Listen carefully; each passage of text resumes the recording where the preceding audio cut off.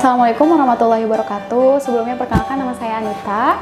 Di sini saya sebagai anak asuh e, dari Yayasan Harapan Robani atau e, dikenal dengan Geraha Yatim dan Duafa.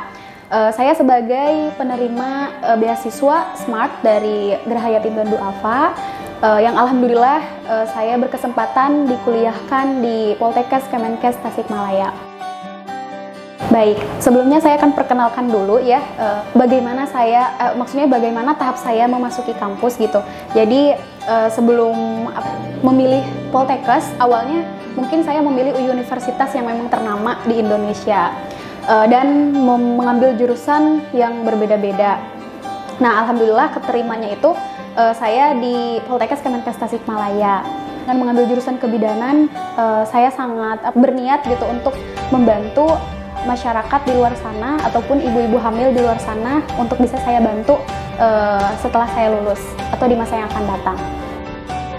Perjalanan dari mulai anak asuh ya sampai dengan mahasiswa sekarang uh, mungkin awalnya ya awalnya itu saya itu uh, sekolah SD di Tasik. Kebetulan saya uh, dari Tasik Malaya. Uh, saya SD selama enam tahun itu di sana di Tasik dan alhamdulillah pada SMP itu di uh, usia SMP saya mendapat beasiswa untuk bisa sekolah di Geraha Yatim dan Duafa jadi saya mulai uh, masuk SMP kelas 1 SMP ya di Cirebon ini selama tiga tahun. Lalu saya lanjut ke SMK kebetulan saya mengambil SMK kejuruan uh, keperawatan ya prodi, uh, program keperawatan selama tiga tahun juga ini. Dan alhamdulillah sekarang saya di tahap uh, lulus gitu lulus dengan sidang yang uh, nilai yang memuaskan. Berkesan ya kalau di asrama itu mungkin uh, saya sebagai anak asuh di asrama banyak sekali momen berkesan yang uh, terjalin dengan Umi ataupun Abi orang tua kedua ya di asrama. Dan juga bersama teman-teman gitu yang memang berjuang bersama saya juga bisa membangun hubungan sosial gitu bersama uh, teman-teman di di perkuliahan tidak banyak kegiatan yang saya ikuti, hanya saja mungkin paling banyak karena saya kan mengambil jurusan D3 kebidanan ya. Diploma itu uh, jadi sistemnya itu blok pembelajarannya. Jadi mungkin sangat sibuk di pembelajaran sebetulnya dari pagi sampai dengan sore. Jadi sebetulnya tidak ada kegiatan khusus gitu yang saya ikuti di perkuliahan, hanya saja saya pernah menjadi uh, ketua umum Pikma ya. Jadi uh, organisasi Pikma itu adalah itu memberikan edukasi ke masyarakat tentang dunia kesehatan.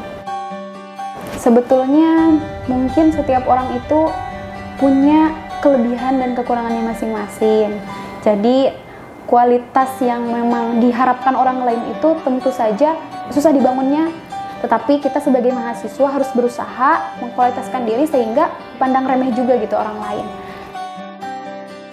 Keterampilan yang saya dapatkan uh, selama mengikuti perkuliahan salah satunya uh, yang paling menjurus gitu mendasar dari program studinya itu adalah bisa menolong uh, ibu persalinan gitu. Jadi sebetulnya kalau misalkan kita membayangkan uh, bisa enggak gitu menolong uh, ibu persalinan? Karena kan kita juga uh, sebagai pelajar gitu mahasiswa yang emang notabene sebelumnya tuh nggak punya nggak punya ilmu.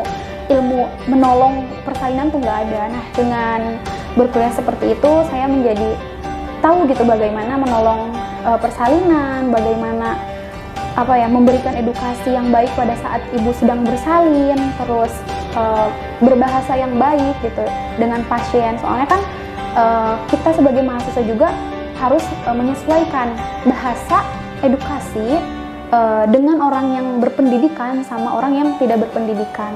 Karena kan pasien itu berbeda-beda ya latar belakang pendidikannya. Jadi kita juga harus dapat menyesuaikan. Nah itu sangat susah sih sebetulnya. Jadi menyesuaikan bahasa itu tuh susah sekali berkomunikasi yang baik itu sangat susah. Motivasi terbesar mungkin yang pertama itu motivasi dari kedua orang tua sih. Uh, karena kedua orang tua mengharapkan anak sukses uh, di di pendidikan karena kan uh, kebetulan orang tua saya bukan dari uh, orang yang berpendidikan maksudnya orang yang kuliah gitu dulunya tuh enggak baru baru uh, saya ini yang kuliah jadi mereka mengharapkan saya itu bisa menjadi lebih baik daripada mereka. Nah, itu motivasi yang sangat mendorong saya untuk bisa menjadi lebih baik uh, pada perkuliahan ini. Terus mungkin uh, salah satu yang apa ya menjadi motivasi itu kata-kata yang saya dapatkan dari uh, Umi Abi Asama. Nah, mereka memberikan motivasi seperti kayak kita tuh pada masa kuliah itu jangan uh, jangan mengharapkan apa sih yang kita dapat dari kuliah gitu.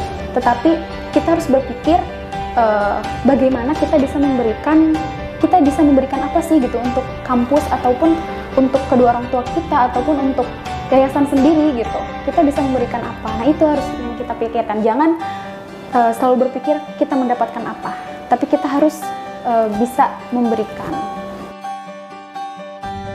setelah lulus ini harapannya sih saya bisa menggali ilmu lebih dalam lagi. Jadi saya tidak ingin berhenti di sini gitu, mencari ilmunya.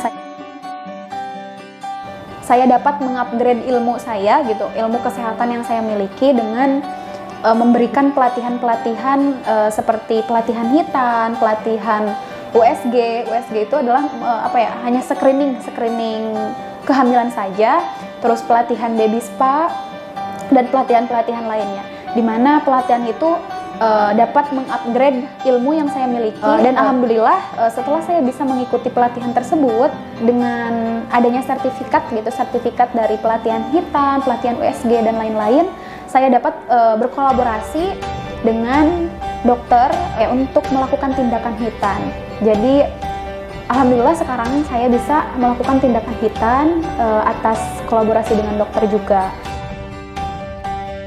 Harapan saya setelah lulus, uh, saya ingin memberikan ilmu saya yang saya dapat selama di perkuliahan itu untuk masyarakat di luar sana. Jadi agar bermanfaat gitu ilmu saya tuh. Dan alhamdulillah saya sekarang mengabdikan diri di salah satu klinik yaitu Klinik Sehat Insani, mitra dari Geraha Yatim dan Duafa di mana di situ saya sudah mulai berpraktik praktik hitan salah satunya ya eh, tindakan hitan atas kolaborasi dengan dokter, dokter umum dan juga menolong persalinan di klinik sehat insani.